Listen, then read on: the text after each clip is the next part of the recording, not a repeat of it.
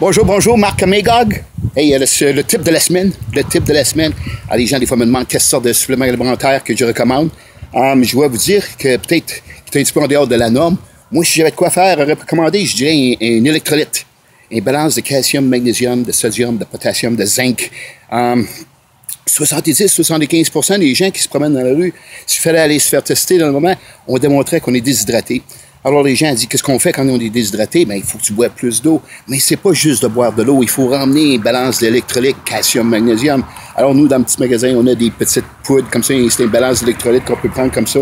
Alors, les électrolytes, c'est important, c'est euh, essentiel au niveau des contractions musculaires. Tu sais, les gens qui, qui crampent, ah, tu crampes des mollets, tu crampes des jambes, des abdominaux. Après ça, c'est le cœur, parce que le cœur, c'est un muscle aussi.